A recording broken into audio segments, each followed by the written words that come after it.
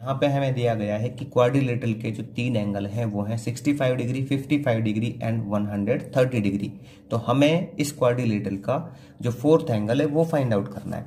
तो देखिए, यहाँ पे मैं जो फोर्थ एंगल है ना, जिसको पूछा गया, उसको लेट कर लेता हूँ। Let the fourth angle let the fourth angle it is equal to x कि मान लीजिए जो फोर्थ एंगल है ना, वो क्या होगा?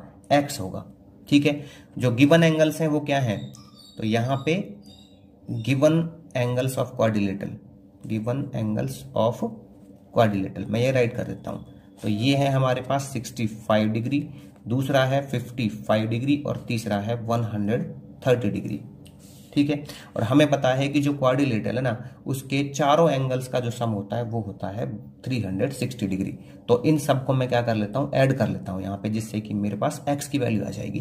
तो मैं इधर राइट कर लेता हूँ, x plus sixty five degree and plus में fifty five degree plus one hundred thirty degree it is equal to three hundred sixty degree इन चारों का sum three hundred sixty degree होगा। इधर मैं राइट कर लूँगा कि क्यों होगा ये? क्योंकि ये है angle sum property of quadrilateral ठीक है?